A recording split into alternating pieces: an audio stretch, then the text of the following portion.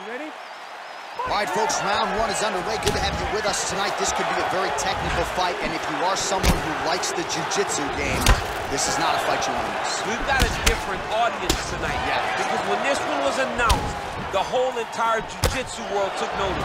They said, wow, we get to watch these two fighters compete in the UFC. Oh! Oh, he's hurt bad. Whoa! He needs to start looking to finish now because he's got his opponent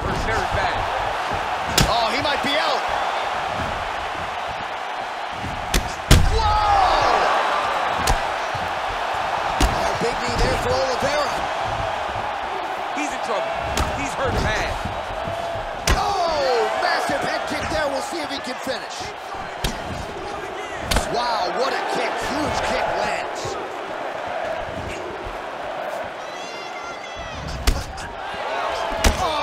do you believe that another head kick lands? Got to start raising that guard or this is going to be the end of the fight. I mean, it's going to be the end of the fight. It's very surprising that he's even standing upright after taking such a bad shot. Well, good news, bad news, right? The strike there lands, but just not much steam on it because his gas tank seems to be on the verge of empty. The gas tank is completely empty. All that butt mashing did you no good. You wasted your energy, you wasted your time. Now it's just a matter of when your opponent decides to finish. Look at how he turns his hip over when he throws that kick. Dude's Wow! holy smoke, he put him to sleep. Back to the feet. Oh, straight right.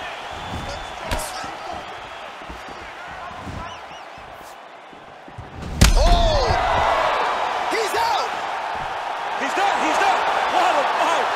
Beautiful shot to end the fight right there. It couldn't have landed much more flush than it did, and I'm not even sure the opponent saw it coming, quite frankly. So, near perfect execution on the strike that ultimately results in the KO here tonight. All right, DC, no telestrator tonight, but we're going to get you some highlights from this one. This was a fight that had it all, and for my money, his best performance to date. His best performance to date in the biggest moment.